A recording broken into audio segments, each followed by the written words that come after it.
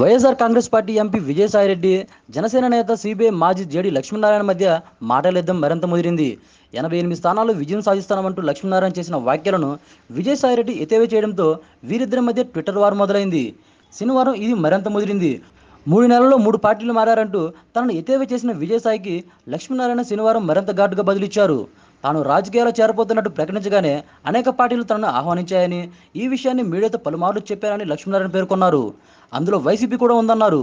Red carpet పరిచి మరీ తనను ఆహ్వానిస్తామని చెప్పింది మీరు కాదా అని విజయసాయి ప్రశ్నించారు. ఈ విషయాన్ని ఎక్కడ బయట పెట్టని మీ తీరు చూస్తుంటే ప్రజల దగ్గర ఇంకెన్ని విషయాలు దాస్తారన్నది అనుమానంగా ఉందన్నారు. వైసీపీ ఆహ్వానాన్ని గౌరవంగా తిరస్కరించినందుకు మీ బాధను ఇలా వ్యక్తం చేస్తున్నారా అని నిలదీశారు. అంతేకాదు జనసేన అరవై ఐదు స్థానాల్లో పోటీ చేసి ఎనభై స్థానాల్లో డమ్మీ అభ్యర్థులను నిలిపిందన్న విజయసాయి వ్యాఖ్యలకు కూడా లక్ష్మీనారాయణ బదులిచ్చారు.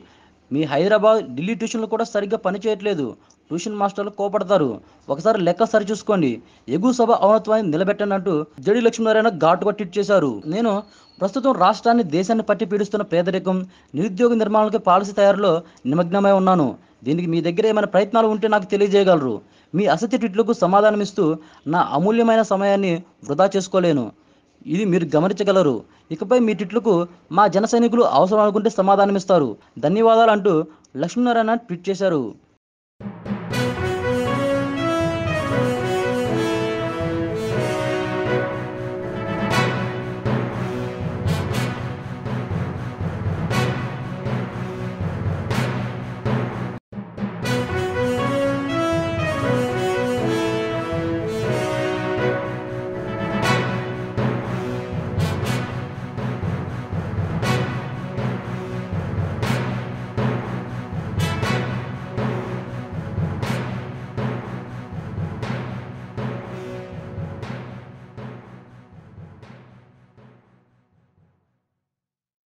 ఏంటండి?